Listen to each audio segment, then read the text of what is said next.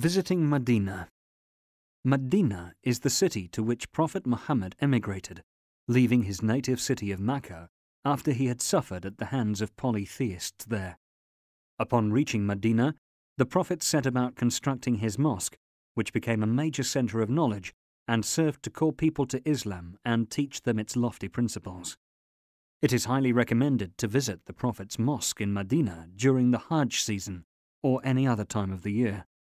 It is worth noting, however, that visiting the Prophet's mosque has nothing to do with the Hajj rituals and is not confined to any particular time.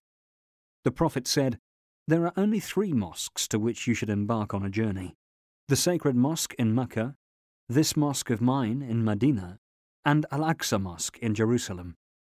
Sahih al Bukhari, 1139, Sahih Muslim, 1397, Sunan Abu Dawud, 2033.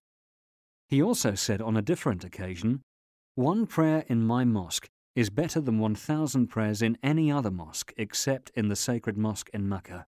Sahih al Bukhari, 1133, Sahih Muslim, 1394. Places in Medina that are worth visiting. A Muslim who visits Medina must intend to visit the Prophet's mosque there and offer prayers in it.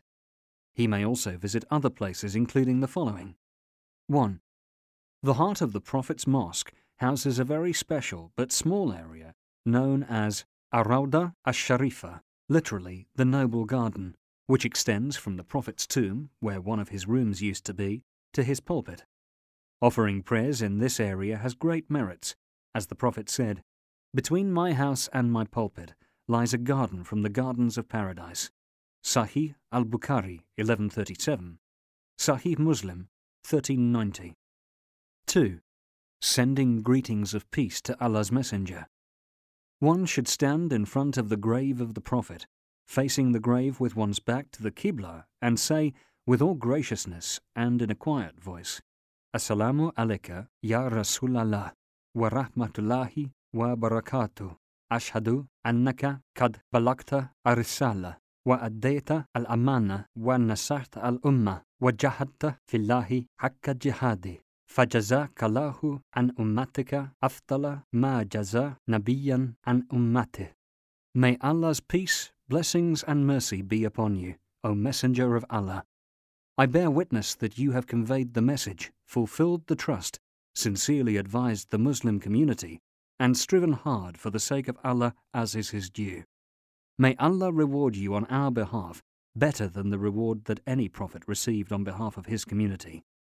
The Prophet said in this respect, No one sends greetings of peace upon me, but Allah returns my soul to me, so that I may return his greetings. Sunan Abu Dawud, 2041. One then takes one step to the right and sends greetings of peace to Abu Bakr as Siddiq, the Prophet's successor and the best of all his companions.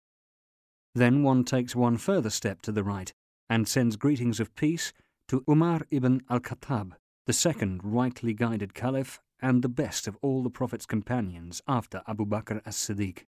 It is worth noting here that, despite the fact Allah's Messenger is the best of all mankind, he can do neither harm nor good, and thus one must not invoke him or seek his help. Instead, one must invoke Allah and direct all forms of worship to him alone. 3.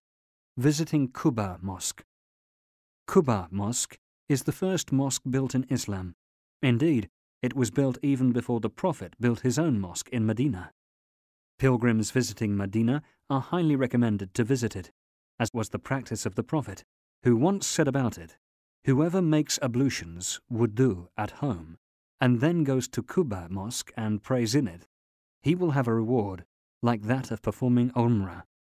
Sunan ibn Majah, 1412.